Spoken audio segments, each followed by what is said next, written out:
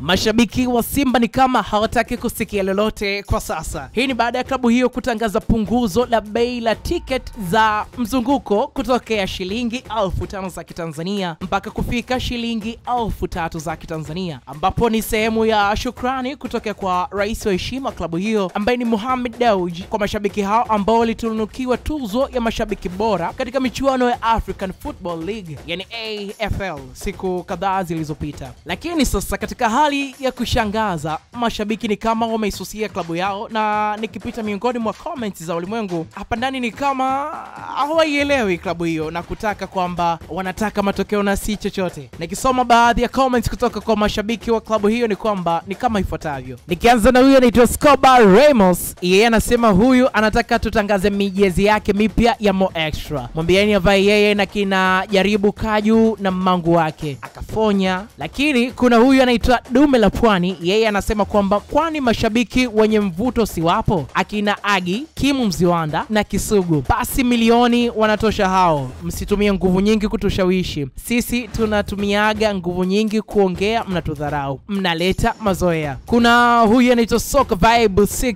yeye anasema tunausubiri posti ya sold out tujuane, na kuna huyu anaitwa Juma Makoka. Yeye anasema sio kupunguza watu, mudi imekata, muhimu tu kushinda hiyo mechi. Baada ya hapo mudi zitarudi kama kawaida. Lakini kuna huyu anaitwa tuipende Simba yetu, yeye anasema hapa ndiyo viongozi wetu wajue sasa umuhimu wa mashabiki. Kuna huyu anaitwa Catherine Benj, yeye anasema rais wa heshima ambaye hajiheshimu, maana jezi nzima kajaza majina yake. Kuna huyu anaitwa Sid Mansur, yeye anasema hata bure mimi siji, uongozi mbovu, wachezaji wabovu, jezi mbovu, kila kitu kwenu, kazi kutudanganya. Kuna huyu anaitwa Abdul wa Simba Sports Club, yeye anasema yani hapo bado ikifika buku mtaniambia.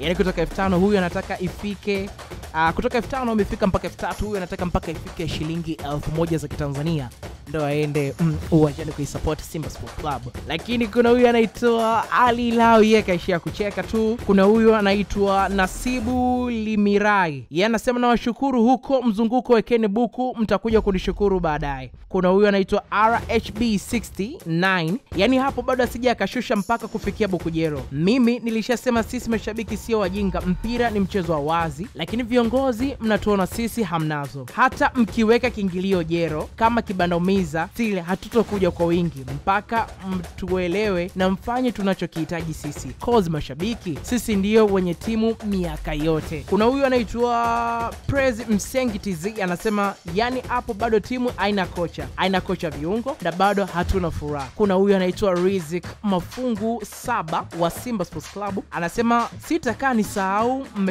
sitakaa ni sahau mmetuita vizuri mechi ya Yanga tukaitika vya kutosha, lakini kilichotukuta acha tu niendelee kulinda mpunga wangu. Kuna huyu anaitwa Official Coco Baby anasema hatununui tiketi na hatuji uwanjani mpaka mtusikilize tunataka nini.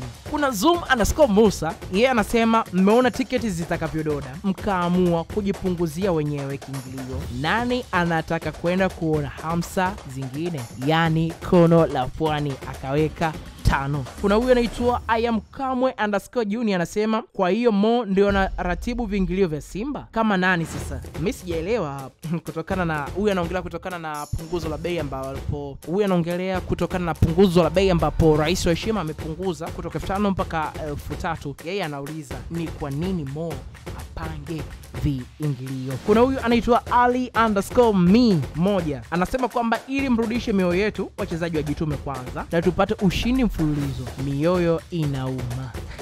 Official underscore ukwachu 255 yeye anasema mashabiki tuna umuhimu wetu bwana, huko anacheka. Kuna Yanga full dose anasema wadaiwa sugu lipeni deni la Sako, akiongelea lile uh, tamko la TFF kutaka kufungiwa kwa klabu ya wekundu Msimbazi Simba kutokana na kutofanyika kwa malipo ya Sako kwa klabu ya kwanza kabla hajaja Simba, ndo anachokiongelea, ambapo video tushakuwekea hapo kwenye YouTube chaneli yetu. Kazi yako tu ni kwenda pale ku, kuitazama. Lakini huyu po underscore Paul Simon 8 yeye anasema bado amjasema na mtasema mimi shabiki wa Simba, ila Simba yetu ni mbovu sana. Ivan Niki yeye anasema tunaosubiri sold out gonga like okay. Kuna huyu anaitwa Zinza underscore TV anasema kipindi hiki no sold out, huko anacheka. Hold underscore Yanga yeye anasema nilijua tu, bila hivyo msingeweza. Mdogo wake Harmonize TZ anasema msituangushe jamani.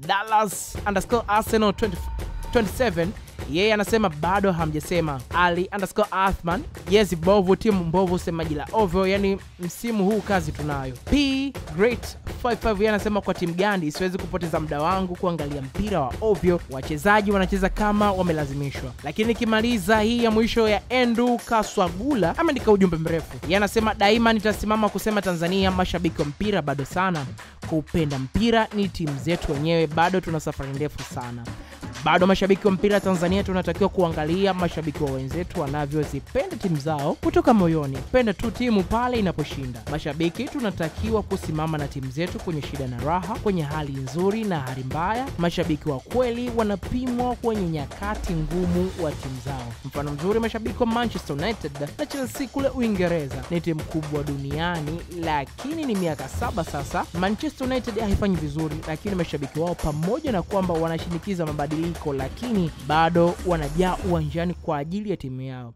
Chelsea hivi karibuni walikuwa hawafanyi vizuri, lakini bado unaona mashabiki wanaamini katika timu yao. Tubadilike, mashabiki wa mpira Tanzania. Kuna huyu anaitwa Zunda Bartaza, nikimalizia anasema siasa, siasa, hii timu mtaiua. Mimi naitwa Kashasha na kazi yako kubwa ni kusubscribe kupitia chaneli yetu kupata content kama hizi ambazo tunakufungulia yale ambayo nyewe mnatoa comment yenu huko mlipo, tunaleta hapa, tuna share, lakini pia tunapeana mawazo mawili matatu aa, katika namna ya kushare stori zote za kimichezo hapa ndani ya Tanzania na nje ya Tanzania. Uwe na wakati ulio mwema.